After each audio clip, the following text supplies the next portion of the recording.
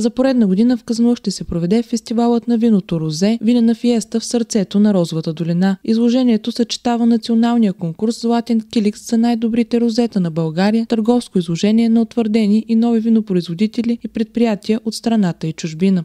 Тази годишния фестивал като 12 изглежда доста зрял, с утвърдено, от, утвърденото място на Казана като столица на Розето. И а, имаме над 50 изложители. За съжаление се наложи да върнем много, защото мястото, с което разполагаме, уви, не, предра... не ни позволява да увеличаваме много бройката. Имаме представители, както винаги от цяла България, така че това е една много хубава ретроспекция на какво се прави в момента в България в областта на виното. Всички изложители, разбира се, на търговското изложение представят себе си като изложители.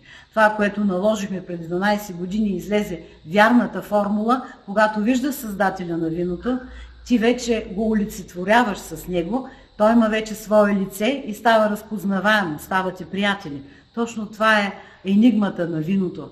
Да създава приятелства, да хвърля мостове между хората, да прехвърля традициите, през поколения и през национални граници, той е един универсален, международен език, на който всички млади хора вече днес се разбират. И тази година виното събитие ще е белязано от редица специални гости. Имаме огромното удоволствие да посрещнем негово превъзходителство, извънредния и пълномощен посланник на Япония в Република България, негово превъзходителство на Рахира, който ще дойде с съпругата си за да връчи златния килик и за, киликс и за да хвърлим точно този мост.